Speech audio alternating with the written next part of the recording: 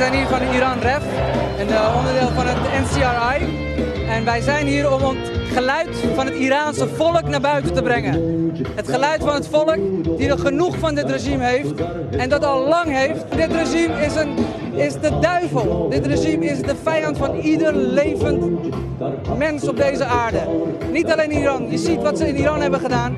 Maar daarna is het verspreid naar de rest van de wereld. Hoe langer het Westen en de wereld dit regime appeasen, hoe gevaarlijker dit regime wordt.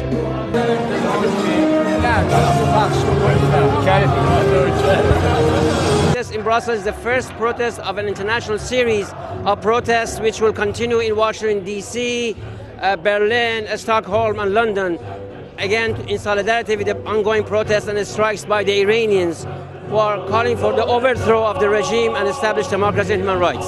Why did you choose Brussels to start here with the protest against the regime? Remember, Brussels is the capital of Europe, and the issue of the European Union policy on Iran is a critical issue.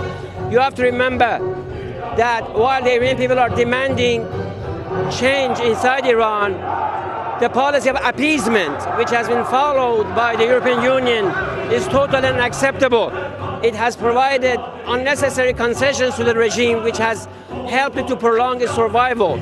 So it's about time for European Union to change its position to side by the Iranian people and the resistance for democracy and human rights.